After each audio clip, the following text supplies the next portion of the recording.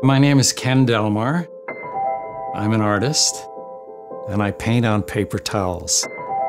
I'm 72, which is one of the reasons I paint a lot, because the runway has shortened for me to get all the things done that I want to get done.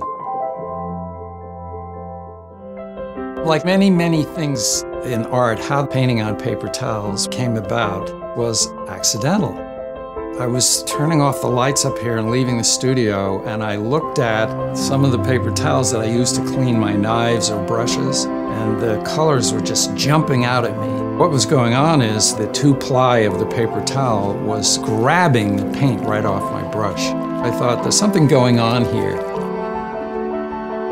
In a sense, the whole thing started randomly, but once it started snowballing, it just snowballed in a very nice fashion.